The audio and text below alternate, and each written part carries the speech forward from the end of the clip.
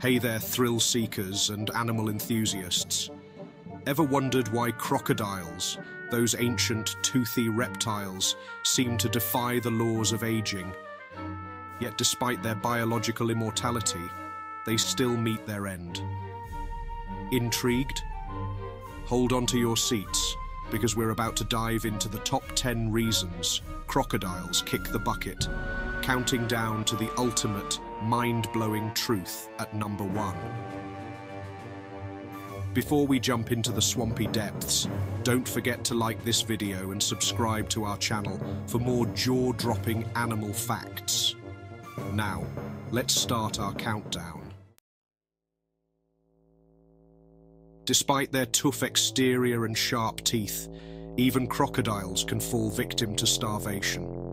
When food is scarce, these ancient predators can struggle to find enough to eat. If they go too long without a meal, their bodies will start to break down, leading to a slow and unfortunate demise. Imagine going on a strict diet. Forever. Yeah, not fun at all. It's no surprise that humans make the list. Crocodiles have been hunted for their valuable skin and meat. Habitat destruction also plays a huge role. As humans expand into croc territory, these reptiles lose their homes and sources of food, leading to conflict and often death. We really need to learn to share the planet, don't we? Crocodiles are known for their aggressive nature, especially when it comes to territory and mates. These battles can leave them with severe injuries.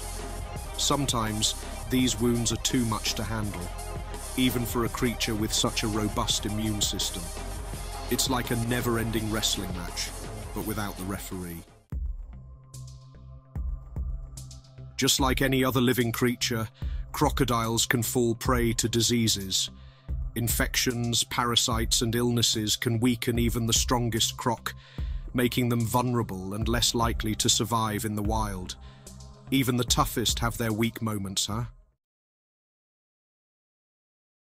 Natural disasters like droughts, floods, and extreme weather conditions can drastically affect crocodile populations. When their habitats are destroyed or altered, it becomes a struggle to survive. Mother Nature sure has a way of keeping things interesting. Pollution is another silent killer. Contaminants in water bodies can harm crocodiles, leading to health issues and even death. Industrial waste, plastic and chemicals can make their homes toxic.